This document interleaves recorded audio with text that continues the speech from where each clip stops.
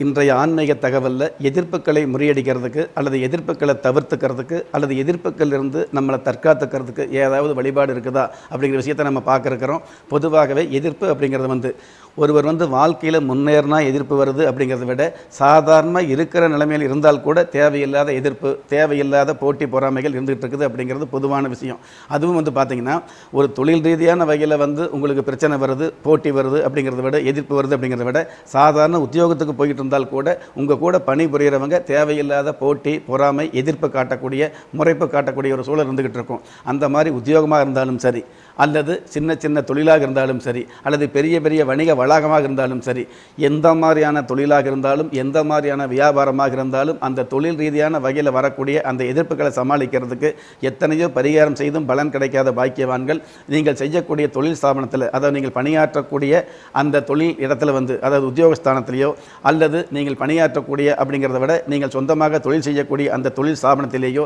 அல்லது வியாபார ஸ்தலத்திலேயோ ஒரு சின்ன கண்ணாடி டம்ளரில் ஒரு டம்ளர் அதாவது நிறைய டம்ளர் தண்ணீர் எடுத்துட்டு அந்த நிறைய டம்ளர் தண்ணீருக்குள்ளே ஒரு லெமன் எலுமிச்சம்பழத்தை போட்டு அதுக்குள்ளே ஒரு பச்சை கற்பூரத்தையும் போட்டு வச்சுட்டீங்க அப்படின்னா நீங்கள் தொழில் செய்யக்கூடிய இடத்துல அல்லது வேலை பார்க்கக்கூடிய உத்தியோக ஸ்தலத்தில் அல்லது வியாபார ஸ்தலத்தில் இருக்கக்கூடிய எதிர்ப்புகள் தானாக விலகும். திரும்பவும் சொல்கிறேங்க ஒரே ஒரு கண்ணாடி டம்ளரில் வீட்டில் பயன்படுத்துகிற அன்றாடம் உபயோகப்படுத்துகிற கண்ணாடி டம்ளரை வந்து நம்ம பயன்படுத்தக்கூடாது.